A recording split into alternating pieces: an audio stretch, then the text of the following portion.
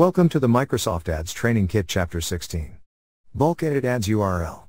In this video tutorial, we are going to take a look at how to bulk edit ads URL, step by step.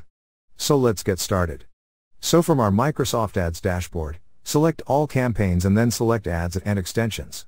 From top here you can select all ads or unselect the one you don't want to edit. Or you can manually select ads you want to edit. Then go to edit button on top, click on its arrow and select change URL options. From here, you can set action, set value for tracking, enter URL suffix, custom parameters and save changes. Let's set action as find and replace text in select tracking template. Then enter your find and replace text. Next set action as append text, here enter your append text and choose where it should appear. Now set action as set URL options then set tracking template, choose one option and click on save. So this is how you can bulk edit ads URL. Thank you for watching. Please proceed to chapter 17. How to pause ads. Inside that video, we are going to take a look at how to pause ads, step by step. See you in the next tutorial.